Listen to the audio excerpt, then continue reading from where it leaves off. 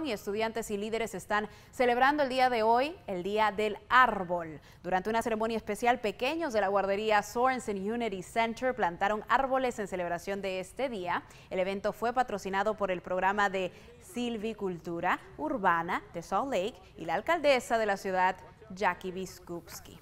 Los pequeños allí aprendieron sobre la importancia de cuidar al medio ambiente.